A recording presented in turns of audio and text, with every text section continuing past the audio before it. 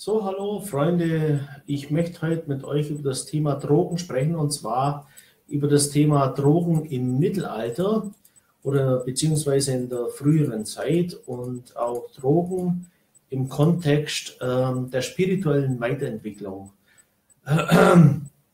Ich habe mich heute gewandelt. Ihr seht, ich bin heute total in Weiß. Und zwar äh, sehe ich mich selber als Priester des Lichts, als Priester des Sonnengott Songod Ra.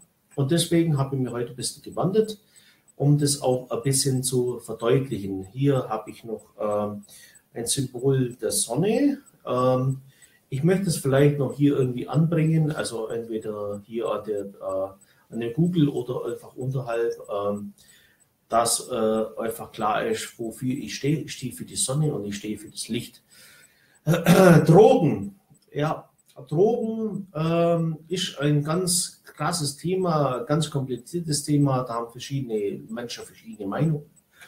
Ähm, ich habe mich ziemlich lange mit dem Thema Drogen beschäftigt, auch wenn ich selber jetzt nur äh, momentan nur die, die legalen äh, Drogen konsumiere. Ähm, bin ich ein Befürworter der Liberalisierung weil ich einfach sage, der Mensch muss seinen eigenen Weg gehen. Jeder Mensch muss seinen eigenen Weg gehen und daraus eben dann die Konsequenzen ziehen. Das ist ganz einfach.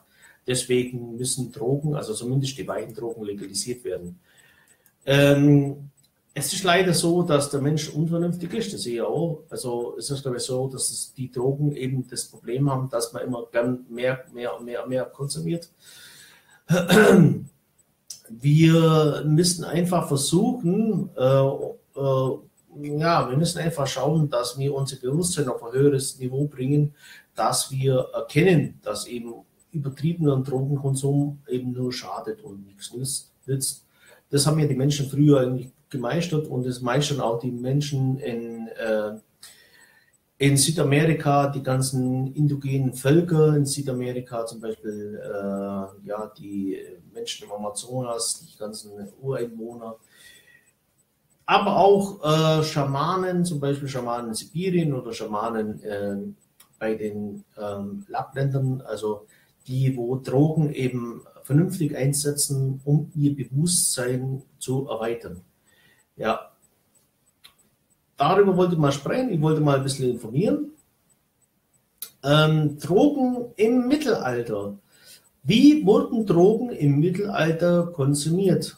Ja, also ich habe ein bisschen recherchiert und habe herausgefunden, dass im Dro äh, Mittelalter ähm, viele Nachtschattengewächse eingesetzt, eingesetzt wurden, wie zum Beispiel Aaron, Binsenkraut, Nachtschatten, Stechapfel, Tollkirsche, Tollkraut äh, wurden getrocknet und dann in Pfeifenform konsumiert. Also es ist ein Irrglaube zu meinen, dass Pfeifen, dass es Pfeifen erst äh, mit Einführung des Tabaks äh, gegeben hat. Nein, Pfeifen gab es schon viel früher. Pfeifen, ähm, Pfeifenrauchen war schon früher bekannt.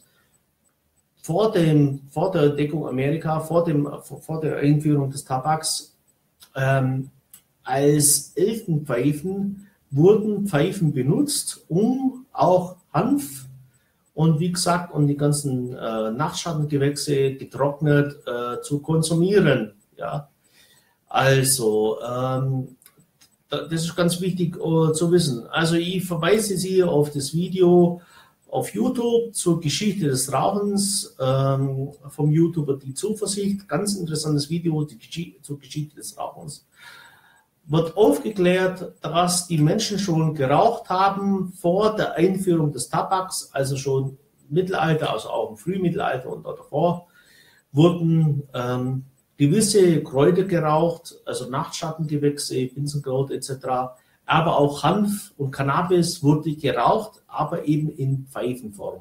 Jo. So, okay, dann gibt es noch ähm, ein ganz gutes Video, das heißt Jesus, Weihnachtsmann, Mitra und Magic Washrooms. Da geht es um die Einnahme von Magic Washrooms, also dem Fliegenpilz. Im Mittelalter war es so, dass, ähm, oh, beziehungsweise im frühen Mittelalter, dass gerade so im heidnischen Bereich sehr viele äh, Fliegenpilze konsumiert wurden. Fliegenpilze wurden getrocknet und dann ähm, von Schamanen, Druiden, Priestern der alten Götter, der heidnischen Götter äh, konsumiert, um eben das Bewusstsein zu erweitern, um eben mit den Göttern in Einklang zu kommen und auch mit den Göttern zu kommunizieren. Wer hat das natürlich verfolgt oder wer hat das mit Argwohn betrachtet? Ja, natürlich die katholische Kirche. Jo. Äh, ist ja klar. Also da braucht man auch gar nicht mehr, mehr dazu sagen. Ähm, die katholische Kirche hat schon immer alles bekämpft, was irgendwie anders war oder abgewichen ist von der, von der einzig wahren Lehrmeinung, die sie meinten, dass es die, die einzig, das einzig wahre ist. Ähm, ja, äh, brauchen wir eigentlich nicht mehr viel dazu sagen. Okay, also ähm, Drogen, um das Bewusstsein zu erweitern, finde ich okay. Ich finde, man sollte Drogen legalisieren. Ähm, im gewissen Rahmen, also auch äh, im spirituellen Bereich, äh, sollte man auf jeden Fall Drogen legalisieren, um das Bewusstsein zu erweitern. Das sollte auf jeden Fall legal sein. Die Indios in Südamerika betreiben das so, sie nehmen ja Ayahuasca, um ihr Bewusstsein zu erweitern, um einfach Probleme zu lösen, werden, wird Ayahuasca genommen im spirituellen, also in einem rituellen ähm, Kontext. Und äh, dadurch äh, machen die Indios eine Astralreise, das heißt, sie verlassen ihren Körper, treten aus, aus dem Körper und äh, sehen das alle Probleme, was sie so haben, aus einem anderen Sichtwinkel. Ja, also im Prinzip ganz gut, finde ich echt okay. Also Drogen im Prinzip sind gut. Ja, es ist nur der Missbrauch das Problem. Das kann man alles in den Griff kriegen finde ich. Also wir müssen einfach nur uns auf ein höheres Niveau des unseres Bewusstseins bringen, auf ein höheres Niveau unseres Denkens, dann ist das alles gar kein Problem. Also, das war jetzt heute das Thema Drogen im Mittelalter, Drogen äh, zu rituellen Zwecken. Ich bin dafür. Und ich würde auch gewisse Drogen nehmen, wenn sie erlaubt wären. Leider sind sie halt nicht erlaubt. Das ist das Problem, ja. Also bei Facebook wollten wir auch schon Leute Sachen verkaufen. und dann habe ich gesagt, nee, nee, nee, nee, nee, ich bin nicht blöd. Also, äh, also bei Facebook hier mir Drogen zu verkaufen zu wollen, ist schon ein bisschen arg äh, tollkühn. Ähm, Finde ich ein bisschen krass. Also, nee, nee, nee, nee. Ich warte, ich bin geduldig und warte. Ich muss mir halt momentan mit den legalen Drogen begnügen. Ja, ich trinke jetzt halt auch wieder einen Wein, einen Rotwein. Also Prost. Ich warte ab. Und wenn Drogen legal sind, dann werde auch ich Drogen konsumieren, aber eben zu rituellen Anlässen. Also ich habe mir auch schon ähm, bei eBay äh, habe ich mir schon eine, ähm, eine Pfeife bevor, äh, äh, vorgemacht, also so, so eine richtige Gandalf-Pfeife, die werde dann rauchen, also es ist richtig mittelalterlich. Weil ich bin Romantiker. Ich will, wenn ich Drogen konsumiere, dann so wie früher. Zu rituellen Anlässen, zu, zur spirituellen Bewusstseinserweiterung. Da möchte ich Drogen konsumieren. So wie früher. Ich bin Romantiker. Und dann ist es okay. Ja. Also, und äh, Drogen, wie gesagt, ich bin äh, generell dafür, aber ich kann es momentan halt nicht konsumieren, weil ich will mir den Ärger sparen. Also, mit den Bullen und so weiter. Das ist ja wohl logisch, ja. Aber wenn es legal ist, dann lade ich dazu ein, da machen wir Ritual Sessions nach altem System, so wie früher, die alten Druiden, die alten Priester, so werden wir dann auch Drogen einnehmen, mit der Pfeife, nicht mit Joints, nein, scheiß auf die Drecks-Joints, scheiß auf diese modernen Mittel, nein, so wie früher. Pfeife.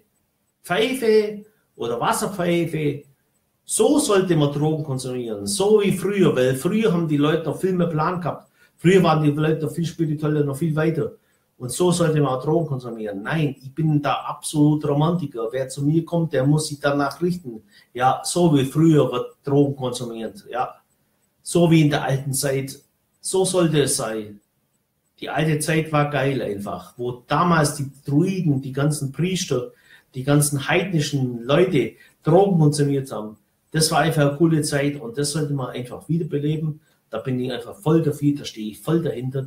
Und äh, das sollte man auch machen. Ja.